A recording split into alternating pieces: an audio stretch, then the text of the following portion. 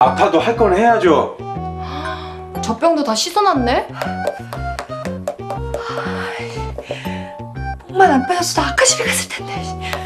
언니 가자 가자. 어? 그래요 없으니까 가세요 가 가 가. 빨리. 언니 삼촌. 아 이렇게 얇게 입고 있으면 어떡해. 이럴 때일수록 뜨뜻하게 입어야 돼요. 이렇게 싸고 있어요.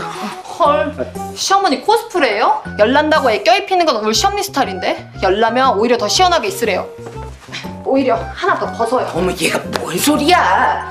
이럴 때일수록 땀을 쭉 빼가지고 열을 내려야 된다고. 아, 입어요. 아, 이 열을 밖으로 방출하는 게 빠르다니까요 아이고 벗어요. 입어야 된다니까. 아니 벗어요 입어요 삼촌. 아니 벗어요 벗어요 얘가 진짜 입어요 삼촌. 아니야 벗어요 아유 진짜.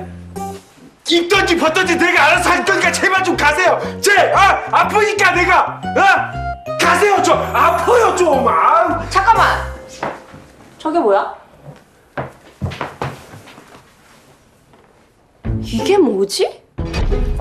헐 이거 여자 핀 아니에요? 그러네? 여자 거네? 아니 이 집에 여자라고는 은혜밖에 없는데 민머리 은혜가 핀을 꽂을 리도 없고 그치 말이 안 되지 이거 뭐예요? 은혜 삼촌 이거 누구 거예요?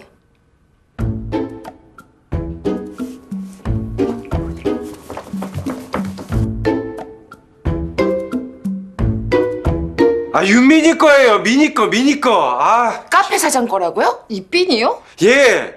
미니가 앞머리가 길어서 이렇게 살림한테 좀 불편해가지고 그냥 이렇게 해서 이렇게 이렇게 꽂는 거예요. 봐요 딱이죠.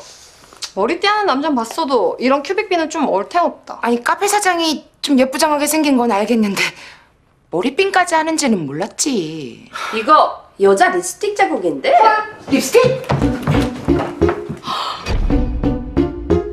여기 여자 있는 거 아니에요? 물 마시고 씻어놓을 걸. 차라리 처음부터 도와주러 왔다고 얘기했으면 됐을 텐데.